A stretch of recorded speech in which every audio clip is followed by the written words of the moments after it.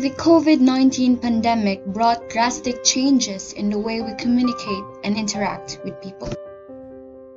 Physical interaction to virtual interaction, there are lots of barriers and restrictions that stops us from interacting with the people close to us physically. However, through the use of social networking sites and the internet, we were able to still reach to those people who lived far away from us. Through the internet, we were able to communicate and connect with people around the globe in a safer way.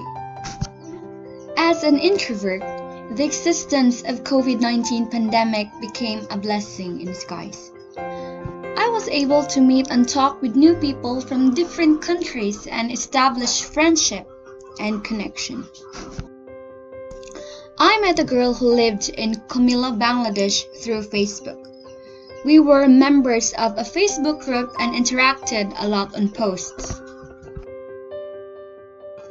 She added me on Facebook and that was how I was able to experience intercultural communication firsthand. There were a lot of differences and one perfect example is language. While we both have different native languages, we agreed upon using the English language as the language that we will use in communicating in order for us to understand each other. Cultural differences impacted our communication and our relationship given the fact that she is a Muslim and I am a Catholic.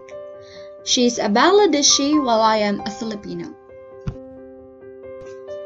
At first, we avoided topics that is connected to our religion as it creates a lot of misunderstandings and resorted to beliefs and practices that we have in common. I am shocked to know that we have a lot in common. Bangladesh and Philippines have a lot in common in terms of beliefs and practices such as pagmamano, which is a sign of respect that the young generation have for the elders. And this very unique belief that sneezing all of a sudden is a sign that someone is talking behind your back.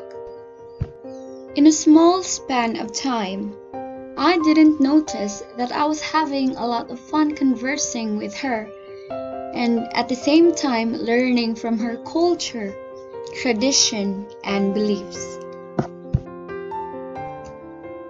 Although the early stages of the pandemic were quite challenging, I wouldn't deny the fact that I enjoyed staying at home and connecting with individuals around the globe just by tapping my phone screen.